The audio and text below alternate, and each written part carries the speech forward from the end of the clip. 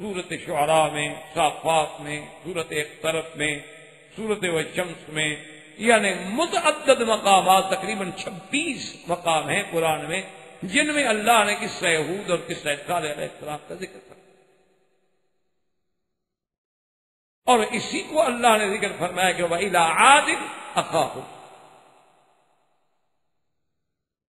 और ये बात भी याद रखें कि बहुत सारे आयात में आप पढ़ेंगे मसन इला समूद अकाहम सालहा इला मदियन अकाहम शुआबा तो लफ्ज अखा अकुवत पर है तो अकुवत जो है बा, बाज अवकात तो कौमी अकुवत होती है। यानी हमारा कबीला एक है तो भाई और बाद अवकात अकुवत जो है वो दीनी एतबार से होती है कि भी हम मुसलमान हैं भाई। अब ज़रूरी नहीं कि हमारा कबीला भी है। लेकिन ये जितने पैगंबर आए हैं, आए भी अपनी कौम में से। इसीलिए आपने कुरान मुकदस में देखा है कि जब हज़रत नू सलाम का ज़िक्र है लकत अरसलना नूहन इला कौमी। और जब कौम हज़रत हूद इस्लाम का ज़िक्र है तो इला आदिन अखाहुम हूदा।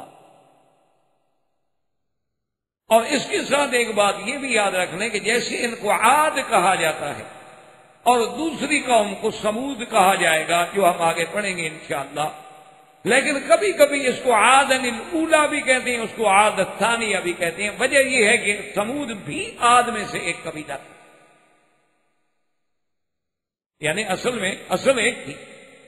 उसी में से एक कबीला जो है, जैसे आप देखें ना जी, मसलन बलोच, एक बड़ा कबीला। अब उनमें से फिर आगे शाखें निकल जाएँगी कि ये जनाब मजारी हैं, ये लगारी हैं, ये मिशोरी हैं, ये कुराई हैं, ये रंद हैं, ये जतोई हैं, ये शाखें। जैसे कुरैश एक कबीला। लेकिन आगे फिर उसकी कई शाखें थी, हजूर सल्लल्लाहु जो है वो बनी हाशिम थी। तो इसी तरह आद जो है बहुत बड़ा कबीला आद बड़ी कौम। यानी जिनके बारे में अल्लाह पाक ने कुरान में लिखा है और आप हैरान होंगे कि आजकल तो दुनिया फख्र करती है ना अपने तमद्दन हजारत पर कि हम बहुत तरक्की याफ्ता हैं। लेकिन जब आप इनकी बात पढ़ेंगे, कुरान में मुताला करेंगे और तारीख ढूंढेंगे तो बड़ी तरक्की याफ्ता कौन? और खुदा की शान देखें कि अल्लाह ने इनको हुस्न, जमाल और सेहत कुत ऐसी अता फरमाई कि उसकी मिसाल कोई नहीं। इसलिए कुरान कहते, अलम तर कई फफाल रब्बु का ब्याद इरमदातिल इमाद अल्लती लम युखलक मिसलुहा फिल बिलाद। तो इसलिए मैं अर्ज़ कर रहा था कि एरम जो है वो भी दरअसल इन्हीं का नाम है। आद भी कहा जाता है और एरम भी कहा जाता है। और ये आद जो थे, आबाद कहाँ थे? अहकाफ में। और अहकाफ का वो इलाका जो है, वो अम्मान और हजरमूत के दरमियान में, यमन के इलाके में एक जगह थी। यमन में हजरमूत आज भी मशहूर है। बल्कि हजरमूत के लोग जो है, आपके हैदराबाद में अभी तक भरे हुए हैं। पुराने दौर में जो अरब गए थे हजरमूत से वो अभी तक हैदराबाद, दक्कन में आबाद है। इसीलिए आप तो मुझसे ज़्यादा जानते हैं, आप हैदराबाद के रहने वाले लोग हैं कि आज भी हैदराबाद में, माशाल्लाह, अरब खाने मिलते हैं, क्योंकि वो अरब आबाद है। बिल्कुल वहाँ जाके आदमी यानी हैरान हो जाता है सुबह नाश्ते में देख फूल बन रही है, कहीं हरीसा बन रहा है। बिल्कुल वो खालिश ठेठ अरब, क्योंकि हजरमूत के लोग हैं वहाँ बारकस पूरा आपका भरा हुआ।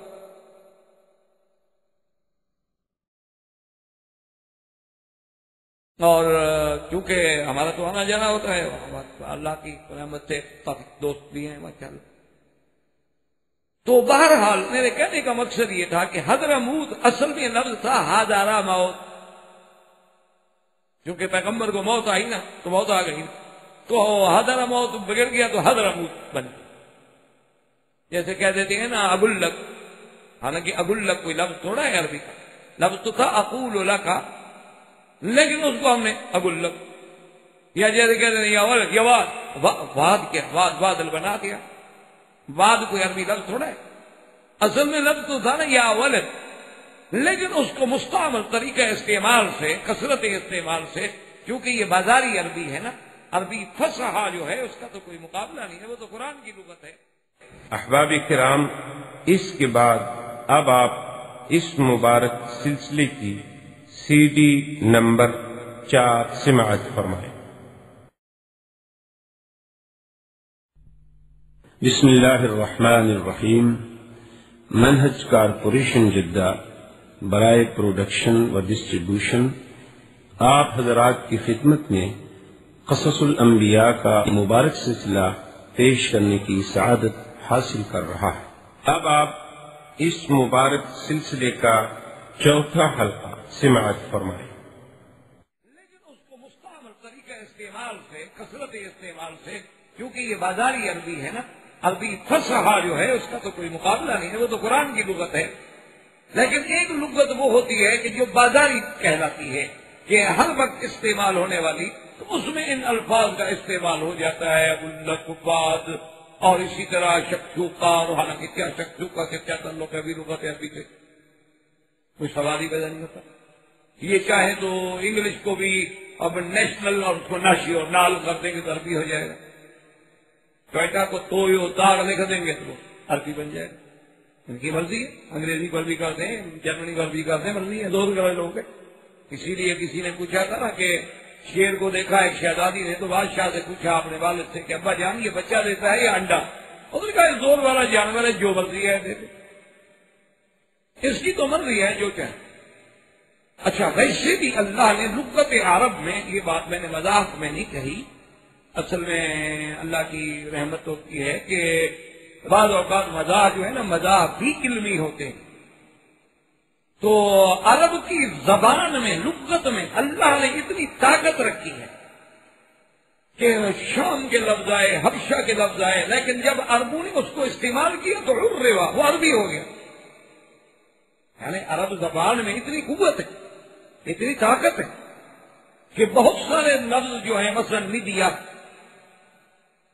ये हबशी हबशी का लफ्ज था। असल में मिदिया कहते हैं छुरी को, जिसे आप काटते हैं। अच्छा इसी तरह कई लफ्ज आए थे बाहर से। और लेकिन जब वो अरबों ने इस्तेमाल किए तो उसको अहले रुकत कहते हैं कि लफ्ज तो अजमी था, लेकिन रुबा अरबी बन गया। अरबों ने इस्तेमाल किया तो खलास, अजमियत खत्म हो गया, वो अरबी हो। कि उस लुगत में ज़ोर है, उसमें ताकत। और क्यों न ताकत हो? अल्लाह का कलाम अरबी में है। हजूर पाक अरबी है। और मरने के बाद तो बरदत से ही अरबी शुरू हो जाएगी। मन रब कमा दीन कमा सकूल अरबी। सब अरबी बोलेंगे अब चाहे ना बोलो, वहाँ डंडे से बोलनी पड़ेगी। और जन्नत में भी अरबी होगी, वहाँ तो आपकी अंग्रेज़ी शंग्रेजी चलेगी नहीं यदि वर्ड तो इंशाल्लाह यही जल्दी बहुत अपनी मर जाएँगे। वहाँ तो फिर वही एक ही आर्डर चलना है, उसी का हुक्म इतना तो अब जनाब ये एरम भी कहलाते थे। और आद भी कहलाते थे। अच्छा इरम के बारे में एक बड़ा तारीखी लतीफा मशहूर है। वो कहती है कि इरम जो है, एक ऐसा शहर था जो जिसकी दीवारें सोने चांदी की थी और जिसमें ये था, और वो यानी मदीनत मुतनक के लतुन के वो कहते हैं कि इरम जो है, वो एक ऐसा शहर था कि दस साल तो इधर है, दस साल के बाद जाओ तो किसी दूसरी जगह चला जाता था। लेकिन ये झूठी रिवाया। असल में इसकी हकीकत, ऐसा कहा क्यों गया, यूँ समझे, वजह क्या क्योंकि कोई झूठ नहीं बनता, उसका कुछ ना कुछ तो होता है। ये अलग बात है कि हमें एक फल मिल जाए तो हम कब उसको बना दें। लेकिन पहले फल तो आखिर मिलेगा, कुछ ना कुछ तो मिलेगा। उसकी वजह ये थी कि कुरान खुद कहता है ना कि ये लोग जो थे, कि इरम जो थे, ये जातर इमाद, ये खैमों में रहने वाले थे। अच्छा और दूसरी जगह कुरान कहता है कि इनके बड़े बड़े महल थे। और ये मैंने आप गर्ज किया ना, बड़ी तरक्की याफ्ता कौन थी, सड़कें, शवारे, और उसके बाद जनाब मसाने और फिर जनाब पानी के सप्लाई के इंतज़ाम के महल जो है, पहाड़ पर है और नीचे से पानी ठीक ऊपर पहुँच रहा है। अल्लाह तबारक वताल ने कुरान में बाकायदा ज़िक्र किया है कि तुम ऐसे ऐसे मसाने बना रहे हो लाल लकुम तखलदून, के तुम समझती हो कि हम हमेशा दुनिया में रहेंगे, इसीलिए तुम की चीज़ें बना रहे हो। वह इजा बतश